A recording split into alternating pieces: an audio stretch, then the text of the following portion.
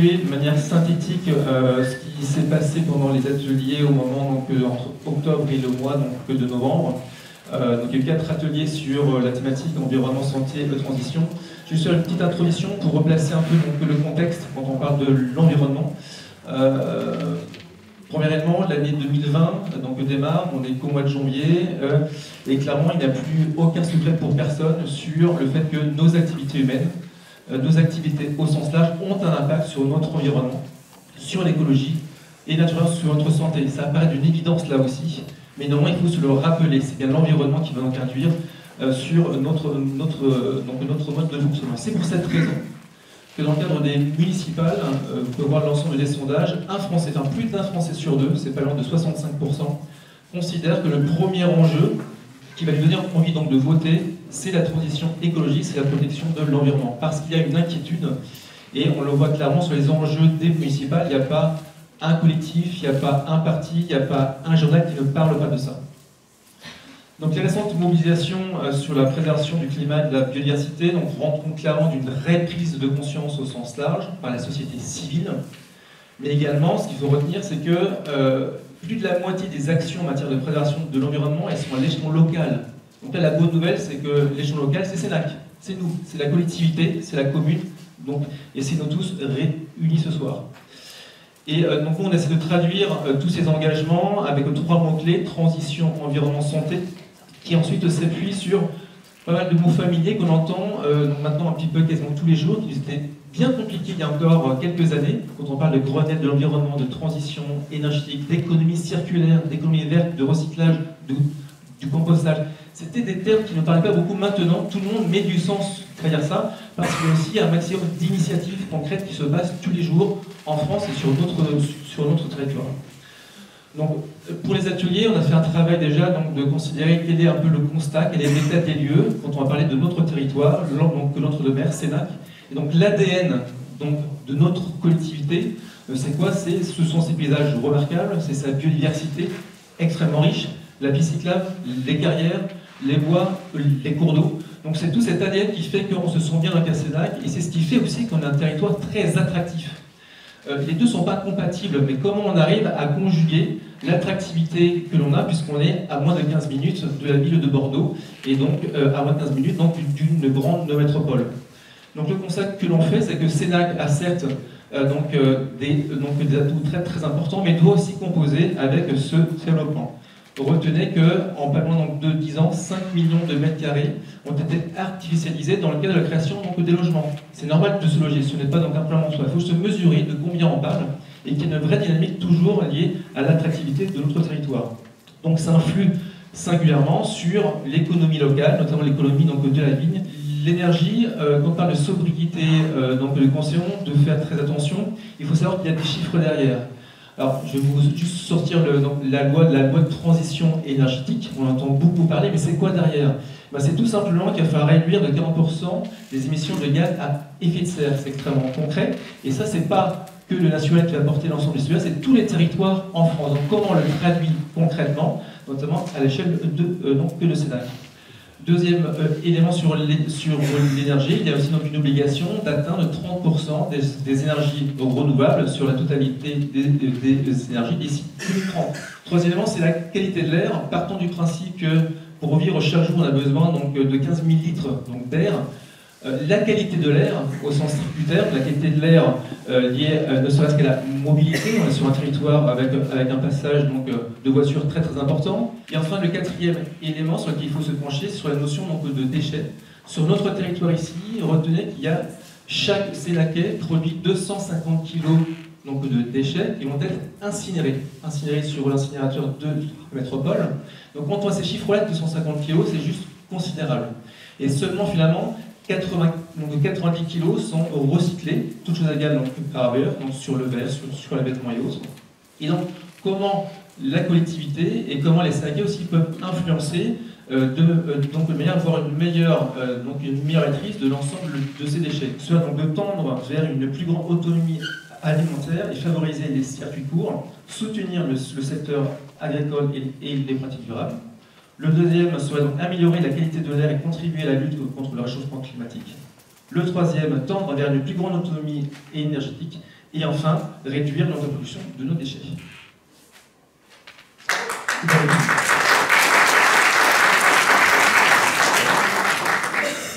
Bonsoir à tous. Donc, euh, moi, je m'appelle Amélie Nicole et je serai euh, sur la liste euh, le 15 mars.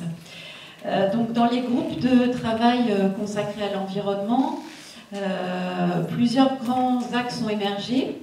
L'une des questions a été comment on peut, sur notre territoire, améliorer notre autonomie alimentaire. donc en préparant ça, j'ai quand même vérifié exactement ce qu'on entendait par l'autonomie alimentaire, de quoi parle-t-on C'est l'accès en tout temps et à long terme à une quantité quotidienne suffisante de nourriture à un coût raisonnable. Euh, aujourd'hui, l'autonomie alimentaire de l'entre-deux-mer est de 21 jours. Celle de la métropole de Bordeaux est de 16 jours. Euh, juste quelques chiffres, parce que c'est quand même assez éloquent dans ce sujet-là.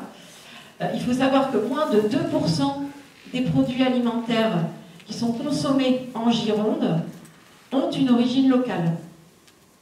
Et inversement, la quasi-totalité de la production agricole euh, de la région, la production agricole régionale, est consommée hors du territoire. Par exemple, donc un chiffre qui est intéressant, seulement 5% de la production alimentaire du Marmandais, pas très loin de chez nous, euh, va vers Bordeaux.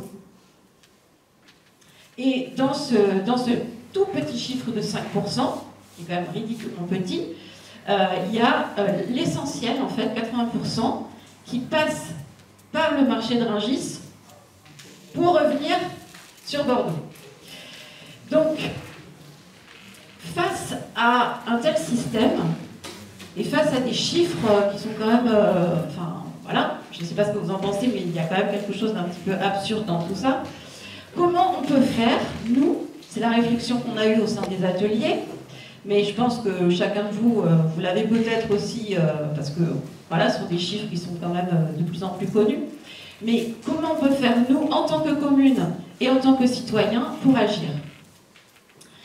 Donc on a posé tout ça et on s'est dit, comme dans d'autres communes, hein, pas, on n'a rien inventé, qu'un des moyens, un des moyens donc d'agir, pourrait être d'aider un maraîcher ou une maraîchère à s'installer sur la commune, de sorte à réintroduire une production locale qui serait distribuée en circuit court. Donc, euh, on a commencé à prendre des contacts pour mieux euh, euh, comprendre comment s'y prendre.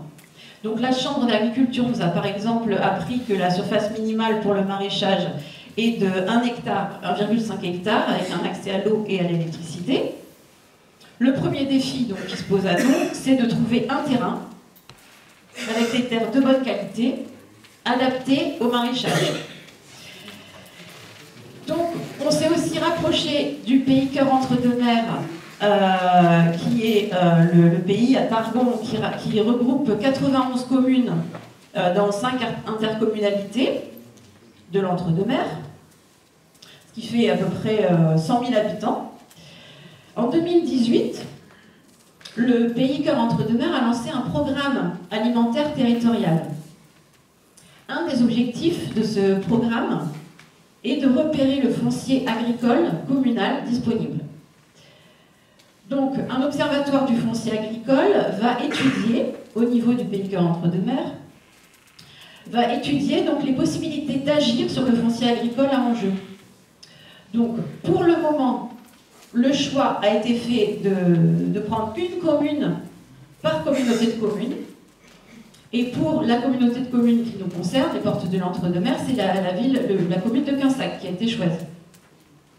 Mais l'idée, ce serait que Sénac puisse être intégré prochainement dans l'observatoire euh, du foncier pour qu'on ait une vision plus précise, plus fine en fait de notre foncier agricole. On le sait, le, principal frein à l'installation des agriculteurs, c'est le prix. C'est le prix du foncier. Par exemple, dans l'entre-deux-mers, le foncier agricole hors vigne se situe autour de 8400 euros à l'hectare. Et ce qu'il faut savoir, c'est que c'est en ce moment le taux de croissance le plus important en Gironde. Ça, c'est lié à la, pression foncière.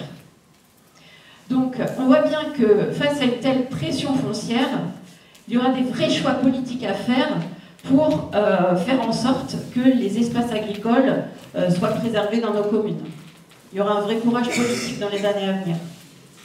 Et dans le collectif de Sénac, euh, et peut-être avec vous si vous partagez ce constat, on est convaincu que ces chiffres ne doivent pas être vécus comme une fatalité.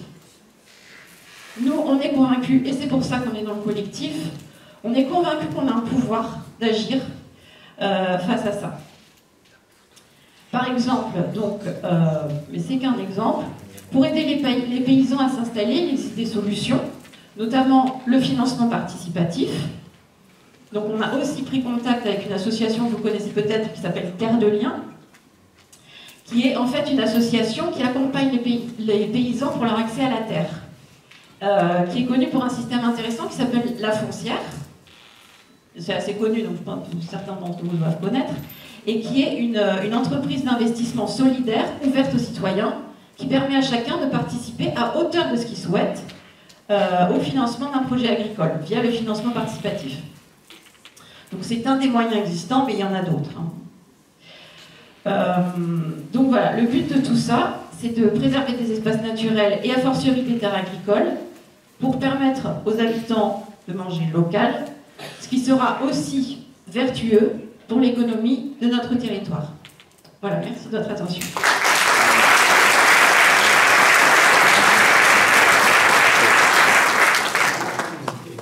Euh, je fais partie de l'équipe en place, et je ne reviens pas sur les raisons qu'a développé Jean-Marie, pour lesquels euh, on est dans ce collectif euh, actuellement.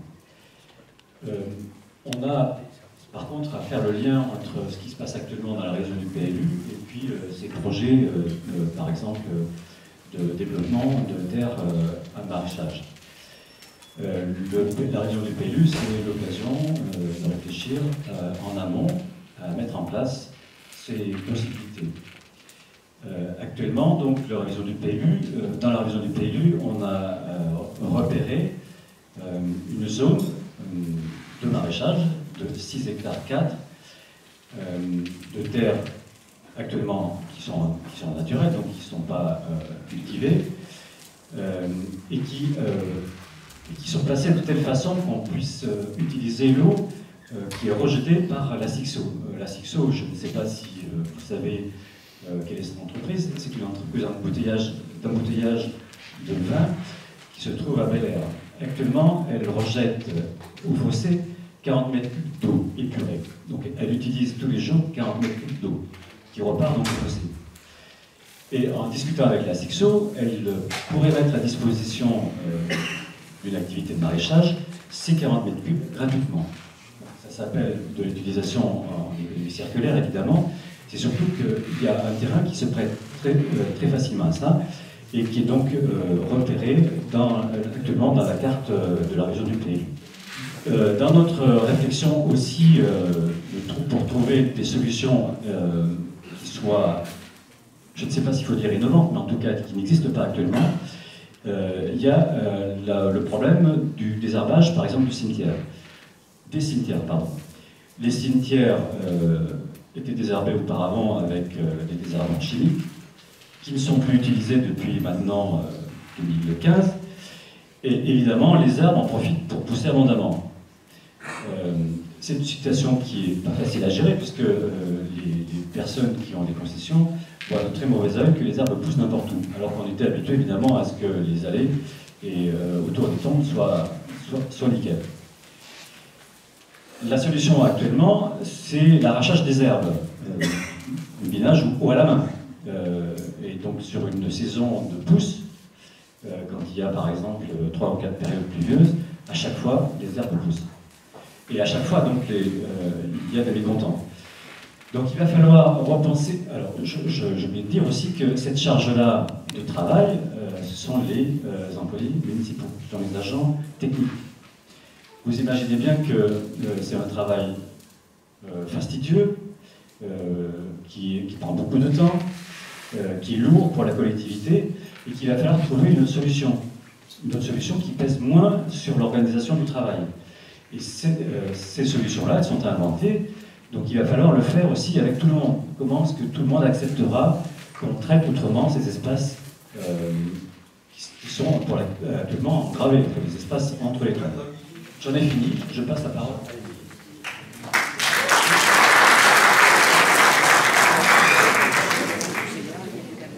Donc, euh, bonjour à tous, moi c'est Emile Salvia, je suis en troisième année de géographie et développement du territoire. Euh, je vais vous parler de deux autres petites thématiques, euh, à savoir la réduction des déchets et la sensibilisation qui me tient pas mal à cœur. Donc, à partir de 2018, il y a l'État qui a déposé une loi concernant du coup, le traitement de nos déchets bioorganiques. Euh, qui correspondent donc à tout ce qui est euh, euh, pelure de patates, de carottes, de tout ce qu'on a à la fin dans nos assiettes. et donc cette loi-là en fait promulgue le fait que dès 2025, ces déchets-là soient triés au même, titre que les déchets de carton, etc.